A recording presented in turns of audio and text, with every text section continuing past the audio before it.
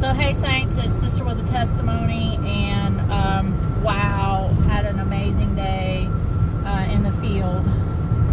It is absolutely over the top, phenomenal when you obey God. So, just want to give you a quick shout out and praise report. Uh, the young lady that we prayed for last week that got saved. She totally and completely showed up. She's okay. She's safe. Uh, it's like God is just so amazing. We had another young lady. Her name is Cherokee. And I'm going to repost her video from a few months back. She had been diagnosed with an incurable disease by two different doctors and two different blood donations that she had given. So I'm not going to tell you figure it out for yourself what she possibly have been could have been diagnosed with. And we prayed for her. And let me tell you what the lord did exactly what he said he would do. The report came back. She went to a different doctor. I told her to get another opinion. And let me tell you what the lord healed this young woman. Okay you don't have the blood disorder. You don't have the disease and uh, two times giving blood and then a third time at a doctor's office and then you go back to the doctor after the lord has done what he said he would do and you get a report that it's negative and there is no disease. So i want to give god the glory and the honor and the praise for that. There was another um, just powerful powerful demonstration of the spirit of the most high god this young woman. She's from um, Abilene. She came through, and um, basically, some of the things that happened is like out of this world. God is absolutely just totally the the more I see him in operation, the Holy Spirit operating in people's lives, the more I'm like, oh yes, oh yes, I gotta I gotta stay with the Lord and I've gotta just stay in that place of separation. Um, holiness we've got to literally come out from among them saints and we have to separate ourselves. The lord calls us. Many are called but few are chosen. And when you are chosen you are going to listen and obey god if you want to walk in that anointing and in that power. This woman from abilene i mean some of the things that she was telling me and my other sister you're just sitting there and you're thinking, this is what they write books about. This can't be true. But then when the deliverance started, it's true. And not only is it true, but God is not a man that shall lie. Let me tell you what, He is the truth.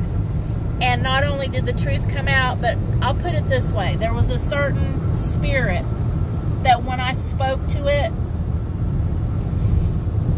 her eyes got big around this the the the skin just kind of sucked back on her face and it looked like it was just a skeleton standing before us. And let me tell you what the lord the lord is the one that knows this stuff. It is not possible for a human being to know this apart from the spirit of the most high god. And he's the one that delivers them. We are his hands and his feet. We are his voice. You are his hands and his feet and his voice.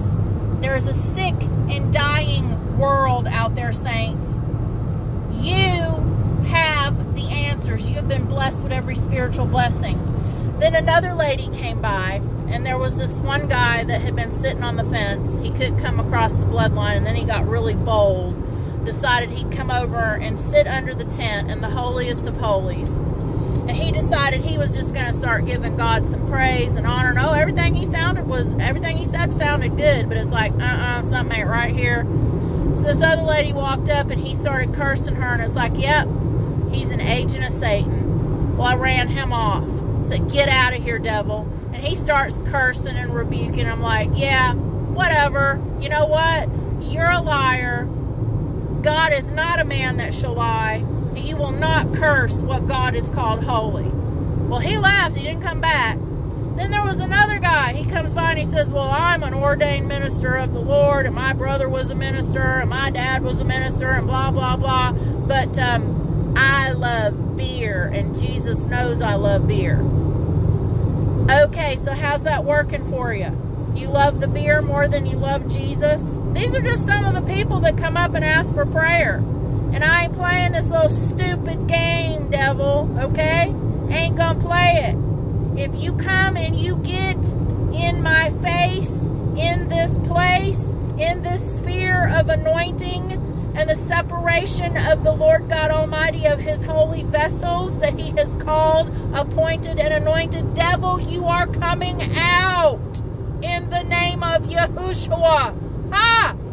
They come over for free water and free food and they have no clue what they're fixing to get. I mean, the devils can't manifest because they've been bound and gagged, but they still show themselves because they get in the spirit the spirit realm of the presence of the Lord God Almighty, the Lord Most High, and they just start telling the truth. It's kind of fun to watch because you like you don't have to do a whole lot of nothing. Just sit there and watch. They come to you. The Holy Spirit does the work. All you got to do is let Him operate through you the spirit of truth. So, needless to say, when the guy that said he was an ordained minister started making excuses, I said, um, you know, you're not gonna, you're not gonna go to heaven making those excuses. You're once saved, always saved, and gonna work. That's a, a doctrine that's only 500 years old. It's a doctrine of demons and it's a doctrine that men have embraced because it makes them feel better. Uh uh You either get out of that bondage to addiction, my friend, or you're going to die and you're going to go to hell. He didn't like that. I said, Get out of here. He couldn't believe that I ran him off. Well, I'm not going to stand there and argue with a demon. Get out.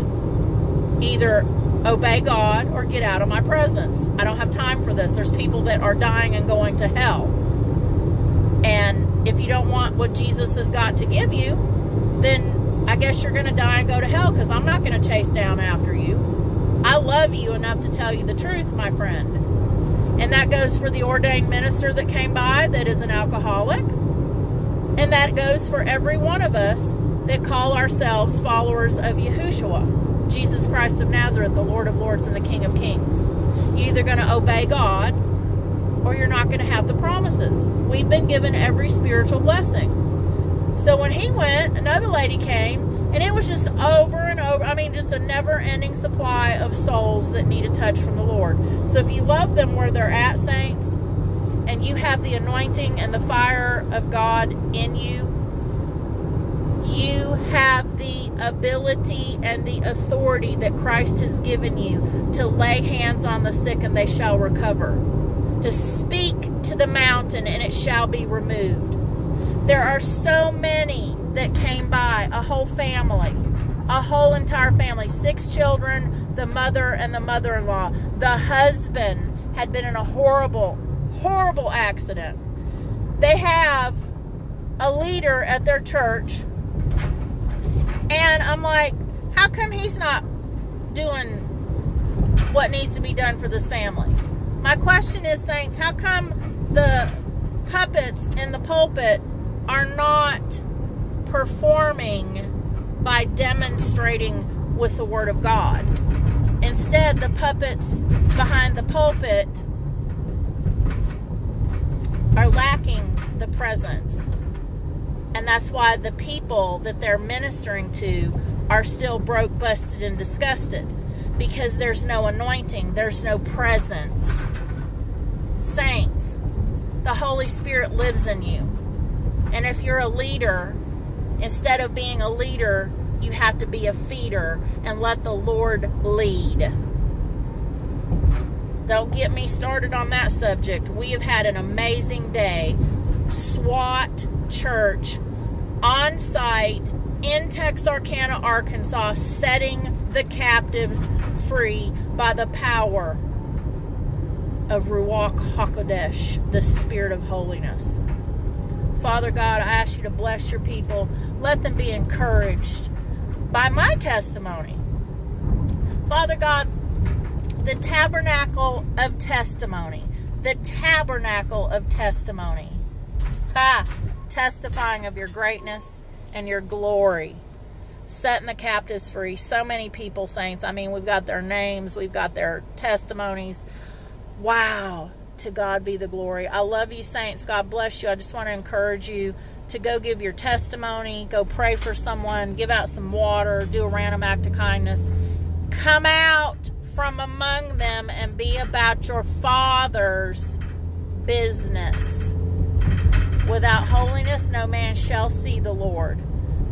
I plead and apply the blood of Yahushua, Hamashiach over you to hide, protect, and keep you. Again, as sister with a testimony, and my amazing testimony is getting bigger every day. God bless you. I love you.